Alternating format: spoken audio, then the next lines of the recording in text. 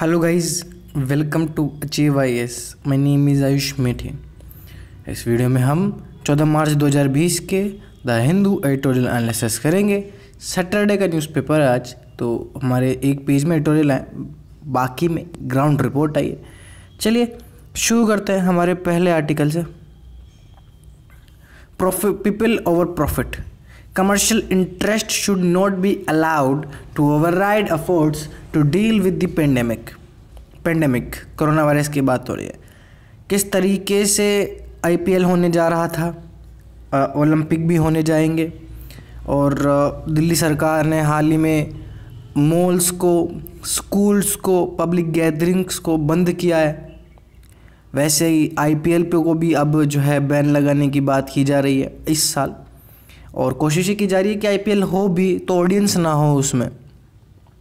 और, जो गैदरिंग्स है, उनको कम से कम करने की कोशिश की जा रही है। आर्टिकल में ये है sports and celebrations are the antithesis of social distancing antithesis मतलब अपोजिट तो सोशल डिस्टेंसिंग के दोनों ये अपोजिट हैं। मतलब स्पोर्ट्स सेलिब्रेशन में आप एक दूसरों के साथ मिलते हो, रहते हो और बेसिकली इस पेंडेमिक के टाइम में जितनी आपको रिमोटनेस चाहिए, जितना आपको दूरी बनाए रखना है, उससे तो लाखों जो है ये दूर है। ठीक है? समझे मेरी बात? आपको कहा जा रहा है कि आप घर में रहो, घर में रह के काम करो। जबकि स्पोर्ट्स और सेलिब्रेशंस ऐसे इवेंट्स में हज़ारों लोगों की संख्या होती है, जहाँ पे वायरस के बढ़ने के काफ़ी ज़्यादा चांसेस हैं। कोविड नाइन्टीन जैसे जैसे बढ़ता जा रहा है चाइना से, फिर एशिया के पार्ट्स में, फिर यूरोप में, फिर अमेरिका में यूएसए के प्रेसिडेंट डोनाल्ड ट्रंप ने हाल ही में डिसीज़न लिया कि यूरोप से वो सारा जो आना जाना है सब कैंसिल कर देंगे। जो लोग हैं यूरोप में उनको ले आएँगे, यूएसए के, बाकी जो है सब कुछ वो बंद कर देंगे, ताकि इस वायरस का जो कंटेमिनेशन है वो रोका जा सके। क्राउड्स और जो स्पेक्टेटल है, वो दोनों एक तरीके से पब्लिक हेल्थ को ख़तरा देती है। भीड़ भाड़ वाले जो इलाके हैं, उनमें इस, इसके थ्रीट के काफ़ी ज़्यादा चांसेस हैं कोरोना वायरस फैलने के ज़्यादा चांसेस हैं। आप देखते होंगे रनर्स जिस तरीके से दौड़ते हैं बॉलर जिस तरीके से जो है बॉलिंग कराते हैं एवरी मसल को स्ट्रेच करते हुए आपको लगता होगा कि काफ़ी ज़्यादा ये टफनेस इनके पास, इनको क्या जो है कोरोना वायरस होगा। लेकिन ऐसा नहीं है। जो भी इम्यूनिटी स्पोर्ट पर्सन के पास है, इसका मतलब ये तो नहीं है कि उनको वायरस नहीं होएगा। तो ये बात क्यों कही जा रही है? क्योंकि देखो स्पोर्ट्स और फेस्टिवल्स में यहाँ पे जो सेलिब्रिटीज़ हैं, जो स्पोर्ट्स पर्सनस हैं, उनको भी कोरोना वायरस होने की संभावनाएँ हैं। क्योंकि फैंस होते हैं चीयरिंग करते हैं स्वैपिंग करते हैं वो। और भाई, ये तो बात होगी, चलो स्पोर्ट्स की। अपने जो प्लेसेस ऑफ़ वर्शिप होते हैं डिवोटीज़ जो पूजा करने वाले एक जगह इकट्ठे होते हैं, वो अपनी दुनिया में खो जाते हैं प्रेयर करते हैं। ठीक है? तो उनको भी होने की संभावना मॉल्स वगैरह में तो आप जानते ही हो। एयरपोर्ट्स, रेलवे स्टेशन पे तो रिस्क है इस सिचुएशन का। तो स्पोर्ट्स का जो ग्रांड थिएटर है, लोग आते हैं पब्लिक के प्लेसेस में, पब्लिक स्पेसेस में। ये एक हाँ एक खुशी देता है लोगों को, लेकिन कोविड नाइन्टीन अगर इस तरीके से बढ़ता जा रहा है तो फिर जो है सोशल डिस्टेंसिंग और पब्लिक इवेंट का कैंसिलेशन बहुत ज़रूरी है। स्पोर्ट्स एडमिनिस्ट्रेटर्स ग्लोबली ग्लोबली इन्होंने टूर्नामेंट्स कोल्ड ऑफ़ कर दिए हैं। इंडिया में लेकिन आ बात अलग है आईपीएल की। जैसे गर्मियों में आपको आम चाहिए होते हैं वैसे आईपीएल भी आपको चाहिए ही होता है। आ, पहले इसका जो शेड्यूल है वो अब मार्च ट्वेंटी नाइन में किया गया। डेट को शिफ्ट किया गया। आ, बेसिकली जो है इसकी जो डेट भी शिफ्ट करने की बात की जा रही है। हालाँकि बीसीसीआई ने 2020 तो पोस्टपोन कर दिया। आईपीएल की बात हो रही है। अब आईपीएल पे इतना दिमाग क्यों लगाया जा रहा है? क्योंकि भैया आईपीएल लाता है पैसा। अब देखो, मैं बताऊँ आपको, वैसे तो स्पोर्ट्स मिनिस्टर ने काफ़ी प्रेशर दिया कि ये जो इवेंट्स है, वो स्टैगिंग कर दो। सॉरी इवेंट जो है, वो चालू रखो। लेकिन ऑडियंस मत लाओ इसमें। ऑडियंस मतलब इवेंट जो ऐसे कि ऐसे रहे और जो है, आप टेली टेलीकास्ट इसको कर दो। आईपीएल हमारा डोमेस्टिक टूर्नामेंट है इंटरनेशनल फ्लेवर है इसका। विदेश से लोग आते हैं, हमारे लोग आते हैं वर्ल्ड के जो क्रिकेट प्लेयर्स हैं, वो आते हैं।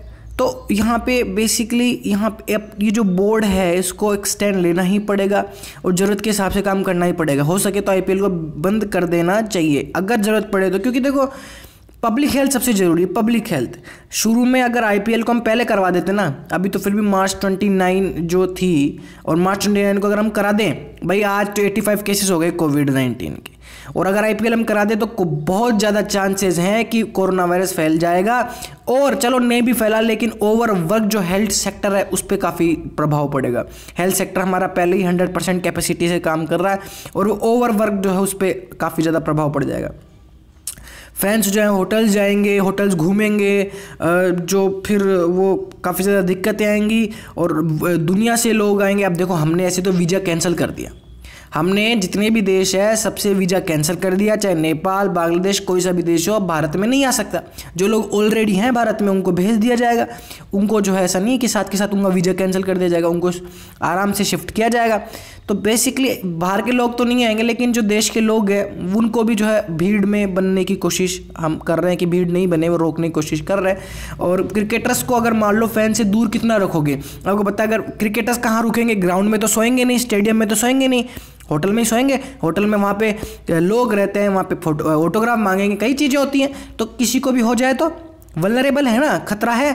तो सिचुएशन अभी काफ़ी फ्लूड है और ये डिपेंड करता है किस तरीके से एपेडमिक शेप लेता है। भारत में वैसे केसेस काफ़ी कम है। अगर दुनिया के हिसाब से मैं देखूँ तो मुझे लगता है कि ज़्यादा से ज़्यादा हमारे डेढ़ सौ तक अगर जाने चाहिए। डेढ़ सौ तक मिनिस्ट्री ऑफ़ हेल्थ और फैमिली वेलफेयर को जो है यहाँ पे पूरी तरीके से प्राइम मिनिस्टर के साथ मिलकर इस चीज़ को रोकने की कोशिश करनी चाहिए।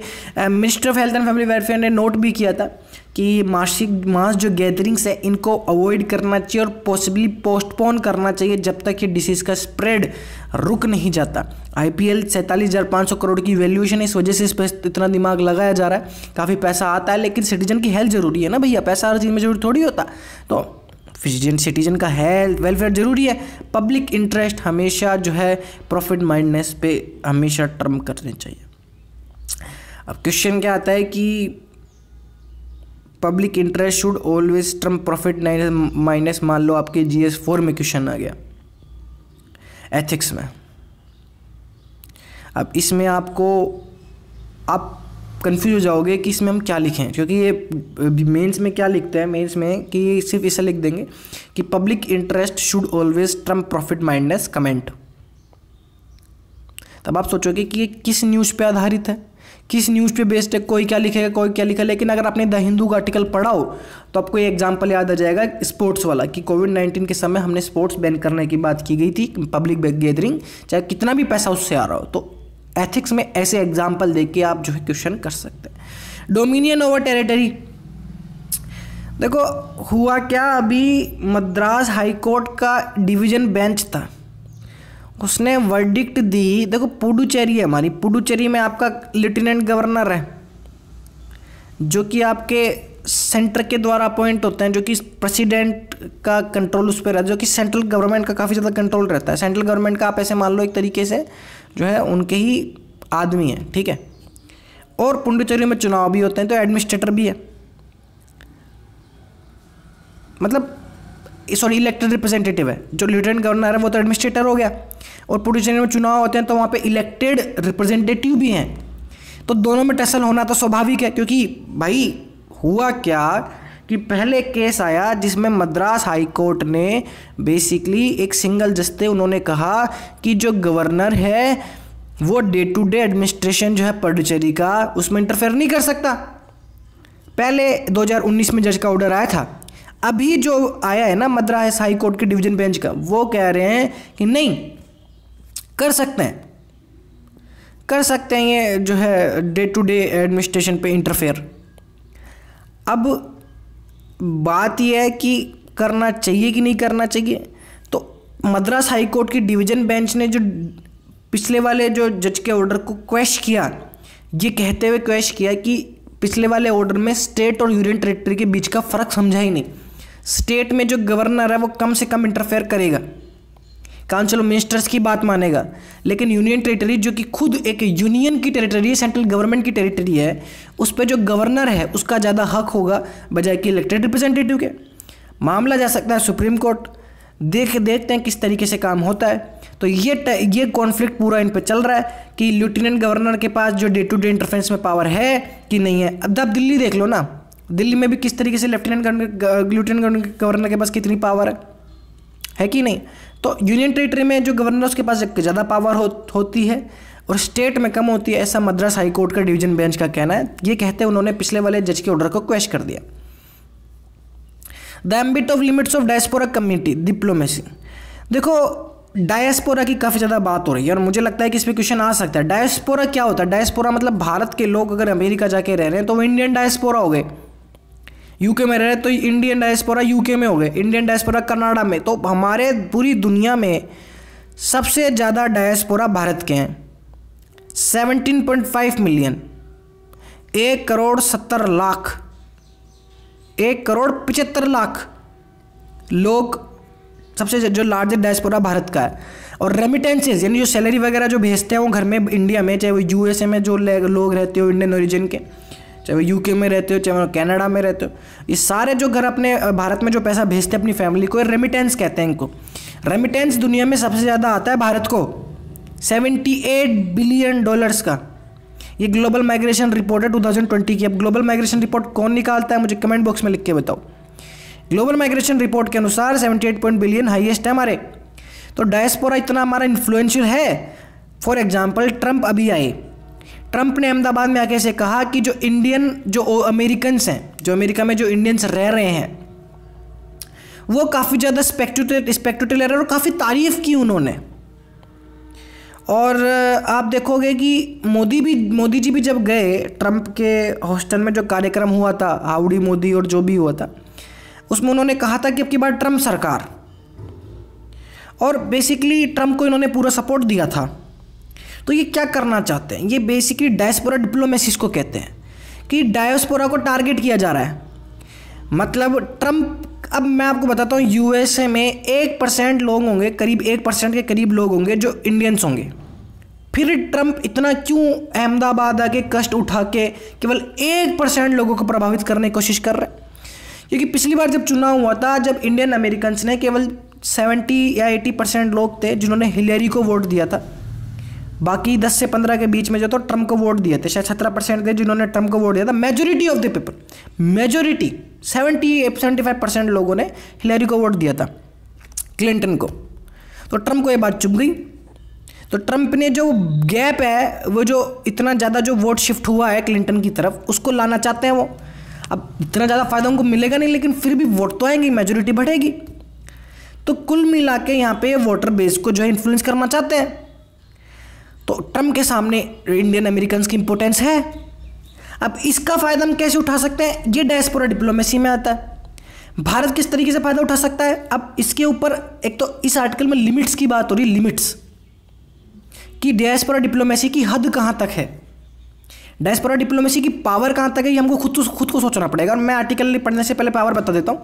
देखो डायस्पोरा जो हमारे देश में सबसे पूरी दुनिया में सबसे ज़्यादा डाटा लिख सकते हो। लार्जेस्ट डायस्पोरा किसका है? भारत का। लार्जेस्ट रेमिटेंस किसका है? भारत का।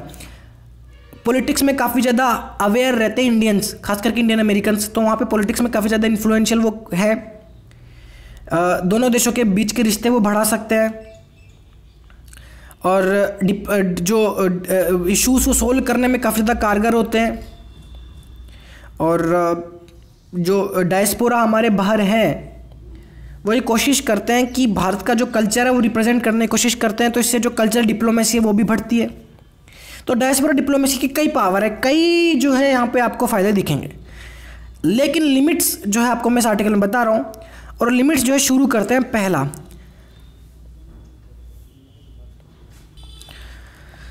The promise of the diaspora's dual power is based on certain faulty premises and it is necessary and timely that government reanalyzes the benefits accrued from the diaspora's politically presence through a more realistic lens. ये ज़रूरी है कि diaspora की power है लेकिन हद भी है डायस्पोरा की पॉलिटिकल जो प्रेजेंस है उसको एक रियलिस्टिक लेंस से देखा जाना चाहिए कि वास्तव में क्या इतनी पावर इनकी रहती है यहाँ पे तीन चार कारण बताए जा रहे हैं, तीन चार लिमिट्स बताई जा रही हैं तो पहले शुरू करते हैं। पहला है ट्रांसबिलिटी ऑफ़ वोट्स ट्रंप यहाँ पे अहमदाबाद में आके इंडियन अमेरिकन को अच्छा बता रहे हैं। होस्टन में कार्यक्रम हुआ था, अमेरिका में, वहाँ पे भी उन्होंने इंडियन अमेरिकन को अच्छा बताया था। तो क्या वास्तव में अब इंडियन अमेरिकन इनसे प्रभावित होकर ट्रंप को वोट देंगे? ये चीज़ अभी तक साबित कॉन्क्लूसिवली नहीं हुई है। फॉर एग्ज़ाम्पल 2015 में रैली हुई थी तो कनाडा में जो इलेक्शन हुए थे जब वहाँ के जो लीडर्स हैं उन्होंने काफ़ी ज़्यादा जो है प्राइम मिनिस्टर के साथ मिलकर रैली की थी और सपोर्ट भी दिया था उन्होंने चुनाव हार गया वो चुनाव हार गए। नेतान्यू की मैं बात करूँ तो नेतान्यू ने मेजोरिटी नहीं ली। उस क्योंकि मो, मोदी जी के साथ जॉइंट रैली की थी उसके बावजूद भी उन्होंने जो है मेजोरिटी हासिल वो नहीं कर पाए। भाई उनको जीत तो मिली लेकिन इतने वोट उनको नहीं मिले। क्या कारण है? तो पहला आपको मैंने कारण बता दिया कि ट्रांसफरेबिलिटी ऑफ़ वोट्स नहीं है, ये लिमिट है। ट्रांसफरेबिलिटी ऑफ़ वोट्स कि भाई इंडियन कम्युनिटी है है, लेकिन इतनी लार्ज इनफ नहीं है कि वो डिफरेंस पैदा कर सके वोटिंग पैटर्न में। दूसरी बात, अब होता क्या है? देखो मैं बताऊँ कि आप क्या कर सकते हो कि आप जब भी लिमिट लिखो आंसर में तो पहला जब आप लिखो ट्रांसफरेटिव वोट्स तो उसमें सब पॉइंट बना के लिख सकते हो रीजन पहला रीजन की लार्ज नहीं है।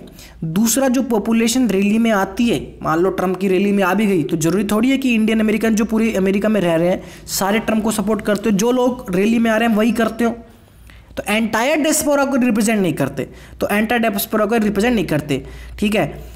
अब यूके जनरल इलेक्शन का एग्जांपल ले लो ना जहाँ पे इन्होंने काफ़ी अच्छी जो है मोदी जी को भी अपने जो कंजर जो कंजर्वेटिव पार्टी थी उन्होंने आ, आ, उन्होंने वहाँ के जो इंडियंस हैं, उनको इन्फ्लुएंस करने की कोशिश की। अब वहाँ के जो इंडियंस हैं यूके में, वो बेसिकली लेबर पार्टी को सपोर्ट करते हैं और जो बोरिस जॉनसन थे, वो कंजर्वेटिव पार्टी से थे। तो इन्होंने कोशिश की मोदी जी को कैंपेन्स में दिखाने की और ये जीत भी गए। ये जीत भी गए, लेकिन ट्रांसफरिटी ऑफ़ वोट्स यहाँ पर नहीं दिखाई दिया। यूके में फिर जो ऐसी चीज़ें देखी गई, कुछ कंस्टिट्यूंसी में जहाँ पे इंडियन ज़्यादा है, लेकिन ट्रांसफरिटी ऑफ़ वहाँ भी नहीं दिखा गया transferability of votes US election में अब देखा जाना है किस तरीके से ट्रंप जो है हॉस्टल में गए, अहमदाबाद में गए। कितना यहाँ पे फ़ायदा उनको निकलता है। ठीक है, मैंने आपको बता दिया था दो हज़ार सोलह में जो है सत्तर सतहत्तर परसेंट इंडिया अमेरिकन ने हिलेरी क्लिंटन के लिए वोट किया था, सोलह परसेंट ने ट्रंप के लिए किया था। तो पहला रीजन मैं आपको बता दिया, रीजन के साथ कुछ एग्ज़ाम्पल दे दिया मैंने। और पहले रीजन में मैं आपको बता दिया कि एक तो लोग इतने ज़्यादा नहीं है डायस्पोरा इतने लार्ज नंबर में नहीं है, और जो लोग रैली में आते हैं, वो पूरे डायस्पोरा को रिप्रेजेंट नहीं करते। दूसरा लिमिट यहाँ पे है कि पॉलिटिकली एक्टिव जो मेंबर्स हैं हमारे इंडियन डायस्पोरा के, ये ज़रूरी नहीं है कि इंडियन गवर्नमेंट के एक्शन को सपोर्ट करते हो। मान लो मोदी जी गए हॉस्टल में ट्रंप को कर दिया सपोर्ट। अब ज़रूर थोड़ी है कि जो वहाँ पे इंडियंस रह रहे हैं अमेरिका में, वो मोदी जी को सपोर्ट ही करते हो। हो सकता है वो इंडियन गवर्नमेंट के खिलाफ हो, नाराज़ हो तो वो ट्रंप को भी कहाँ से सपोर्ट करेंगे? क्योंकि ट्रंप के अगर साथ मोदी जी दे रहे हैं ट्रंप के साथ हैं तो कहाँ से करेंगे? तो ये बेसिकली अब ये क्या है कि बाहर से क्रिटिसाइज भी कर देते हैं। हम तो एक बार लिमिट है हमारी बोलने की सरकार के खिलाफ, लेकिन ये जो है, ये कुछ भी बोल सकते हैं। तो बेसिकली काफ़ी पॉलिटिकल अवेयर रहते हैं और जो थोड़ी कि इंडियन गवर्नमेंट को सपोर्ट करें। जैसे कि आप देख सकते हैं कि हाल ही में कुछ एग्जांपल हुए जहाँ पे आप देखोगे एमी बेरा जो कि यूएस की एक एक ऑफिशियल है, उन्होंने भी सिटी सीए को और कश्मीर पे क्रिटिसाइज़ किया। और हाल ही में जो यूएस हाउस रेजोल्यूशन और कश्मीर यूएस पे जो रेजोल्यूशन आया कश्मीर का, वो लाए थे, प्रमिला जयपाल ने लाया था। और कई सारे एग्ज़ाम्पल हमने देखा, जैसे कमला हैरिस जो कि फॉर्मर प्रेसिडेंशियल कंटेंडर थी, यानी प्रेसिडेंट का चुनाव इन्होंने लड़ने की कोशिश लड़े थे इन्होंने, ये गवर्नमेंट को क्रिटिसाइज़ करती है। तो हमने देखा किस तरीके से कि यहाँ पे हर डायस्पोरा जो है डायस्पोरा का हर व्यक्ति इंडियन गवर्नमेंट को सपोर्ट नहीं करता। तीसरी लिमिट यहाँ है, यहाँ पे कि गवर्नमेंट डायस्पोरा पे फोकस तो करे। ऐसा नहीं गवर्नमेंट भूल जाए ये सारी बातें पढ़ के कि चलो ठीक है यार वोट तो दे नहीं रहे। इंडियन अमेरिकन तो इनको छोड़ो। इनके लिए ना स्कीम्स लाओ, इनकी ना बात करो, ना इनको जाके वहाँ पे रैली करो। ऐसा नहीं होना चाहिए। फोकस और डायस्पोरा पे रहना चाहिए, लेकिन बायोलेटरल रिलेशन में फैक्टर बनना नहीं चाहिए कि इनकी वजह से हमारा बायोलेटरल रिलेशन इन्फ्लुएंस हो। कि भाई यूएसए में अगर हमारा डायस्पोरा ज़्यादा है तो हम यूएसए को काफ़ी ज़्यादा जो है तवज्जो दे के चले। ऐसा नहीं है। फैक्टर नहीं बनना चाहिए। फैक्टर नहीं बनना चाहिए। हाँ इनका ध्यान दो। सेफ्टी ध्यान दो इनकी। वेलबींग देखो इनका। जो दुनिया में जहाँ जहाँ हमारे इंडियंस हैं, लेकिन एक डिप्लोमेसी में इनको बहुत बड़ा जो शिफ्ट है, वो मत होने दो। इसका एग्ज़ाम्पल आप देख सकते हैं उन्नीस में, उन लोकसभा में जवाहरलाल नेहरू ने कहा था कि जो हमारे लोग बाहर चले गए हैं, उनके, उनकी चिंता है हमें और उन, वो जिन्होंने भी नेशनलिटी अपनाई है तो हमारे जो है कंसर्न उनके साथ हैं, हम सेंटिमेंट्स हमारे जुड़े हुए हैं, लेकिन पॉलिटिकली वो इंडियन नेशनल नहीं है तो पॉलिटिकली वो जो है अब इंडियन नेशनल नहीं है तो यानी कि पॉलिटिकली इंटरफेरेंस वो हम नहीं करना चाहेंगे। तो जवाहरलाल नेहरू ने पूरी तरीके से कोल्ड ब्लड अपना लिया था, समझ रहे हो? ये नहीं करना चाहिए, ये भी नहीं करना चाहिए। क्योंकि जो जो जो आगे आगे सरकारें आई, उन्होंने इतना क्लोड कोल्ड ब्लड नहीं अपनाया और डायस्पोरा को थोड़ा चिंता ही जताई और मोदी गवर्नमेंट ने तो काफ़ी ज़्यादा ही आगे बढ़ चढ़ के जो है इंडियन डायस्पोरा का ख्याल रखने की कोशिश की वीज़ा पे इश्यूज़ पे जो आज तक किसी भी सरकार ने नहीं की। तो इंडिया का जो इंटरनल पॉलिटिक्स है, वो अगर यहाँ पे आ जाए, इसमें जुड़ जाए डायस्पोरा के साथ तो एक गलत हो जाता है और नया एंगल जुड़ जाता है, ठीक है? क्योंकि अभी देखो यूएसए में भी इलेक्शन हुआ है ब्रिटिश ब्रिटिश, ब्रिटेन में भी अभी जो है हमको क्रिटिसाइज किया गया कि इंडिया जो है यहाँ पे इन्फ्लुएंस करने की कोशिश कर रहा है, यहाँ पे रोल जो है निभा रहा है पॉलिटिक्स में इन्फ्लुएंस कर रहा है, जबकि नहीं करना चाहिए एथिकल नहीं है। भाई, हम जो है किसी और देश के इलेक्शन में किसी पॉलिटिकल पार्टी के लीडर को क्यों सपोर्ट करें? ये तो इंटरफेरेंस हो गई ना जो रशिया ने की थी यूएसए में पहले पे जो रशिया पे आरोप लगे थे। ठीक है? और जो है यहाँ पे लिमिट आप कह सकते हो। कि ये सबसे मुझे इंटरेस्टिंग और इन्फ्लुएंशियल पॉइंट लगा, जो चौथी लिमिट आप कह सकते हो, कि आप जब भी वहाँ जा जा के विदेशों में जब अपने पॉलिटिकल लीडर मान लो मोदी जी गए यूके में यूएस हैं और वो जब भी जाके इंडियन अमेरिजन इंडियन जो अमेरिकन को सब कहते हैं वहाँ पे, या यूके में जो इंडियंस हैं, उनको संबोधित करते हैं, उनको बार बार जो याद दिलाते हैं कि आप इंडियन हो, कि आप इंडियन हो। तो ज़रूर, ये चीज़ अच्छी है, एक तरीके से पॉजिटिव इसका ये आता है कि भारत का जो प्रभुत्व है वो बढ़ता है। लेकिन लेकिन लेकिन, इससे क्या होता है कि एक जो इंडियन कम्युनिटीज़ हैं, उनको माइग्रेंट के तौर पे देखा जाने लग जाता है कि तो इंडियंस हैं। भाई, आज कोई भी इंडियन किसी भी जैसे अमेरिका में रह रहा है तो एक कोशिश करता है कि वहाँ के कल्चर में वो जुड़ जाए, वहाँ के लोगों के साथ तो जुड़ जाए, अलग से नहीं देखा जाए, क्योंकि देखो ऐसा होता है ना तो हेट जो है वो काफ़ी ज़्यादा बढ़ जाती है, और ऐसी घटनाएँ देखने को मिली है जहाँ पे इंडियंस पे जो है काफ़ी अटैक हुए हैं, क्योंकि वो एशियन है इंडियन ओरिजिन के हैं। तो रेसिस्ट भावना यहाँ पे पनप जाती हैं। अगर यहाँ पे इंडियन कम्युनिटीज़ को इंडियन कम्युनिटीज़ के तौर पे देखा जाएगा तो बार बार जब हम जाके अपनी डायस्पोरा को इंडियन कम्युनिटी बताते हैं इंडियन कम्युनिटी बताते हैं तो एक पर्सन ऑफ़ इंडियन ओरिजिन कि भाई यहाँ पे ये लोग इंडियन ओरिजिन के थे। लेकिन एक है इंडियन सिटीजन तो हम एक क्या करने की कोशिश करते हैं, विदेशों में जाके ऐसे अगर रैली करते हैं तो उन लोगों को जो विदेश में रह रहे हैं भारत के लोगों को मिलाने की कोशिश करते हैं, जिनसे माइग्रेंट्स के तौर पर उनको देखा जाता है। तो ये है इक्वल सिटीजन तो नहीं देखा जाना चाहिए। मतलब सॉरी उनको वो सोचते हैं कि अमेरिका में जो भारत के लोग रह रहे हैं कि हमको इक्वल सिटीजन देखा जाए। हमको इमिग्रेंट के तौर पे नहीं देखा जाए, क्योंकि आप देख सकते हो यूएस और यूरोप में काफ़ी ज़्यादा अटैक हुए थे इन पर तो यहाँ पे ये ज़रूरी है कि हम जो है उनकी पॉलिटिक्स पे दखल अंदाजी नहीं करें। हाँ वो अपनी कल्चर अपना जो सक्सेस वहाँ पे हासिल किए, भारत को वहाँ पे रिप्रेजेंट करते रहें, चाहे सत्य नदेला हो, चाहे सुंदर पिचाई हो जो भी हो गीता गोपीनाथ हो, कोई भी हो, वो अपने किसी भी तरीके से जो है रिप्रेजेंट करे भारत के कल्चर को भारत के जो आ, किसी जो आ, अपना जो सोसाइटी है। लेकिन उनकी पॉलिटिक्स पे दखल अंदाजी करने का मतलब है कि आप जो है उनको इमिग्रेंट बताने की कोशिश कर रहे हो।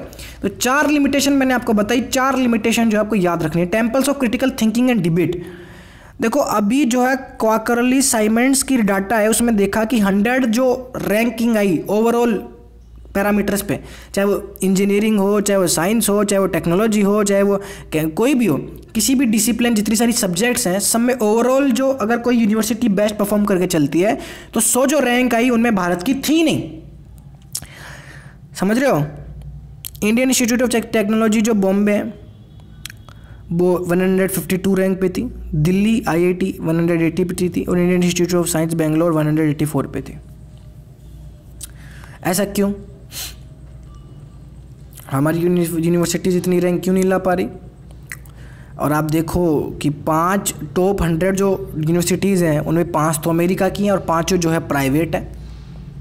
तो प्राइवेट यूनिवर्सिटीज़ इतना टॉप कर रही हैं और भारत की प्राइवेट यूनिवर्सिटी छोड़ो, जो गवर्नमेंट के द्वारा फंडेड हैं, वो हंड्रेड में भी नहीं आ पा रही। क्यों?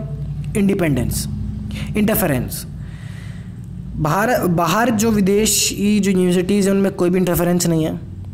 डिबेट्स होती हैं पब्लिकेशंस होते हैं, रिसर्च होती है, पॉलिटिकल इंटरफेरेंस नहीं है। हमारे यहाँ पे काफ़ी ज़्यादा इंटरफेरेंस होती है। अब यूनिवर्सिटीज़ की नीड क्या है? यूनिवर्सिटीज़ में इंडिपेंडेंस क्यों नहीं चाहिए? यूनिवर्सिटीज़ यूनिवर्सिटीज़ का सिग्निफिकेंस क्या है?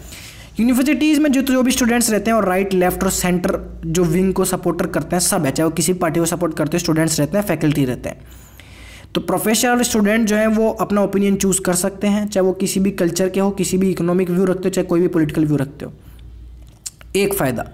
दूसरा टैलेंट को अट्रैक्ट करते हैं। वो प्रोफेसर्स को ऐसे लेते हैं जो काफ़ी टैलेंटेड हो, जिनका आउटस्टैंडिंग एबिलिटी हो पढ़ाने की। और बच्चों को भी वही लेते हैं जो आउटस्टैंडिंग हो मेरिटियस और ब्राइटेस्ट हो। हाँ आप ये कह सकते हैं कि जो बच्चे हैं, वो कहाँ जाएँगे? कुछ बच्चे हैं जो आई में एडमिशन ले सकते हैं, लेकिन बाकी के जो इंजीनियर है, वो कहाँ जाए? तो उनकी, उनके करियर पे इफ़ेक्ट पड़ता है क्योंकि सरकार जो है, ज़्यादा ध्यान आई में लगा रही है। वो अलग बात है, लेकिन स्टिल आई और जो आप इंस्टीट्यूशंस देखेंगे बड़े बड़े चाहे वो आई हो, ये सारे जो हैं ब्राइटेस्ट स्टूडेंट्स लेते हैं। जनरेट ये नॉलेज जनरेट करते हैं और बेसिकली तीसरा फ़ायदा ये है कि पब्लिकेशन को इंसेंटिवाइज कर सकते हैं और रिसर्च करने की कोशिश करते हैं। कि लोग पब्लिश करें यहाँ पे रिसर्च हो यहाँ पे। और फ़ायदा ये है इनका कि क्रिटिकल थिंकिंग ये बढ़ाते हैं डिबेट ये करते हैं राइटिंग एबिलिटीज़ स्टूडेंट्स में बढ़ाते हैं। स्टूडेंट्स को इंकरेज करते हैं कि वो आके अपने प्रोफेसर्स को ही चैलेंज करें उनकी सब्जेक्ट में। जो उनके दिमाग में जो अभी चीज़ें भरी गई है, उनको ही चैलेंज करें कि क्या चीज़ सही है। Question questioning is the beginning of intelligence तो जो पैडागोगी पैडागोगी मतलब जो टीचिंग टीचिंग तो पैडागोगी जो टीचिंग का फ़ील्ड है बेसिकली ये चैंपियन ग्रेजुएट्स बनाते हैं यहाँ पे, जो उनकी स्किल्स काफ़ी ज़्यादा होती है। और जॉब मार्केट में नॉलेज होती है, जो यूनिवर्सिटीज़ की मैं बात करूँ तो ठीक है तो इतने सारे फ़ायदे हैं वर्ल्ड की बेस्ट यूनिवर्सिटीज़ की अगर मैं बात करूँ तो उनके जो एलुमिनी है, जो वहाँ के पढ़ के गए थे बच्चे, वो आज बड़े बड़े स्थानों में बड़े बड़े पोजीशंस में और वो वापस जाके यूनिवर्सिटीज़ को पैसा दे देते हैं डोनेशन देते हैं। तो आप देख सकते हो हार्वर्ड के पास इन डोनेशन की मदद से 40 बिलियन डॉलर आए 2019 में। है ना? तो ये चीज़ हम भी कर सकते हैं, लेकिन हमारे पास जो है बहुत कम पैसा इसका आता है। यूएस और यूके में जो यूनिवर्सिटीज़ है, ये बनने में हमारे को अगर ऐसी यूनिवर्सिटीज़ बनानी है तो हमको लाख कई दशक लग जाएँगे, ऐसी यूनिवर्सिटीज़ हम बना नहीं सकते। काफ़ी ज़्यादा पैसा लग जाएगा हमारा, लेकिन हम चाइना से सीख सकते हैं। चाइना की रैंकिंग अगर मैं बताऊँ, सो, हंड्रेड में हमारी रैंकिंग नहीं आई। 152 पे हमारी रैंकिंग थी, मैंने बताया आपको। आईआईटी बॉम्बे की 152 पे थी आईआईटी बॉम्बे की। चाइना की अगर मैं बात करूँ तो चाइना में जो सिंगुआ यूनिवर्सिटी सोलह पे थी पैंकिंग यूनिवर्सिटी बाईस पे थी फुडान यूनिवर्सिटी चालीस पे थी जिंग जियांग जे जियांग यूनिवर्सिटी चौवन पे थी सोलह पे रैंक आ गई टॉप ट्वेंटी में चाइना की यूनिवर्सिटी आ गई। चाइना के टाइम पे हमारे बराबर था। चाइना के टाइम पे हमारे पास बराबर था उन्नीस सौ अस्सी में। तो चाइना एजुकेशन में भी इतना आगे कैसे चल गया? क्या सीखे हम चाइना से भैया? चाइना ने बहुत पैसा लगाया चाइना की यूनिवर्सिटीज़ ने इन्होंने बहुत पैसा लगाया, इन्होंने वर्ल्ड क्लास यूनिवर्सिटीज़ बनाने की पूरी जो है ठान ली थी। भारत के पास पैसा नहीं है, भारत सरकार के पास रिसोर्सेज नहीं है, जितने कि चाइना के पास है। तो ये लिमिटेशन है भारत सरकार की। और लेकिन हम ये कर सकते हैं कि पैसा नहीं भी दे सरकार तो इंटरफेरेंस रोक सकती है। भाई पॉलिटिकल जो इंटरफेरेंस है जो नेता हैं बड़े बड़े जो अमीर लोग हैं वो क्या करते हैं? अपने बच्चों को डोनेशन दे के एडमिशन दिलवा देते हैं। इंटरफेरेंस होती है यूनिवर्सिटीज़ में। भाई कोई आ, कोई गवर्नमेंट को सपोर्ट कर रहा हो कोई अगर अगेंस्ट में हो तो जो अगेंस्ट वाली यूनिवर्सिटीज़ हैं जो आपके सामने एग्ज़ाम्पल है जैसे कि उन पर जो है काफ़ी ज़्यादा प्रेशर पड़ता है कि वैसी डिबेट ना करें तो पोलिटिकल इंटरफेरेंस कम की जाए। अब गवर्नमेंट ने हाल ही में डिसीज़न लिया कि यहाँ पे जो 20 इंस्टीट्यूशन ऑफ़ एमिनेंस चुनेंगी 20 भारत सरकार, जिनको ब्यूरोक्रेसी से मुक्त कर देगी ऑटोनॉमी उनको मिलेंगी और उनको वर्ल्ड रैंकिंग बढ़ाने की कोशिश करेगी। बीस ऐसे चुने जाएँगे। अब देखो कौन से चुनते हैं। लेकिन इंडिया को अभी एजुकेशन में बहुत आगे चलना है। चाइना जैसी देश, जिसमें इतना ऑथोरिटेरियन है, जहाँ पे सरकार की हाथ, सरकार की पहुँच, सरकार की पावर हर जगह तक है वहाँ पर अगर अगर एस यूनिवर्सिटीज़ टॉप रैंक ला रहे हैं तो भारत जिसको हम डेमोक्रेटिक बोलते हैं, जो लोकतांत्रिक सबसे बड़ा जो लोकतांत्रिक जो देश है, वो नहीं कर सकता कि चेंज ला सकता है। हमारा जो इंडिया का डेमोक्रेटिक और जो कैरेक्टर है कंटेस्टेड कैरेक्टर वो इवोल्यूशनरी चेंज ला सकता है, लेकिन लॉन्ग टर्म विजन और सेल्फलेस लीडरशिप हमको चाहिए। मैंने इंपोर्टेंस बता दी यूनिवर्सिटीज़ को इंडिपेंडेंस क्यों देनी चाहिए? और लिमिटेशंस क्या क्या है? एक तो पैसा नहीं है ब्यूरोक्रेटिक हर्डल काफ़ी ज़्यादा है इंटरफेरेंस काफ़ी ज़्यादा होता है, और दूसरी बात जो है, यहाँ पे इतना ज़्यादा इनको सपोर्ट नहीं किया जाता यूनिवर्सिटीज़ को, जितना करना चाहिए। ठीक है? हालाँकि गवर्नमेंट के एफोर्ट्स मैंने आपको बता दिए इंस्टीट्यूट ऑफ़ एमिनेंस चुनेगी बीस, और और भी कोई अफोर्ट्स आप अपने आंसर में डाल सकते हैं। कंक्लूजन आप डाल सकते हैं, जो आर्टिकल का कंक्लूजन है, वो बेस्ट है। ठीक है आर्टिकल जो है इसका ये इसका कंक्लूजन ये बेस्ट है। ये कंक्लूजन आप इनसे सीखा कर, करो ठीक है। डाटा आपको मैंने दे दिया कौन सी यूनिवर्सिटी कौन की कौन सी रैंक थी। तो गाइज़ ये थी हमारी वीडियो थैंक्स फॉर वॉचिंग जय हिंद गुड ब्लेस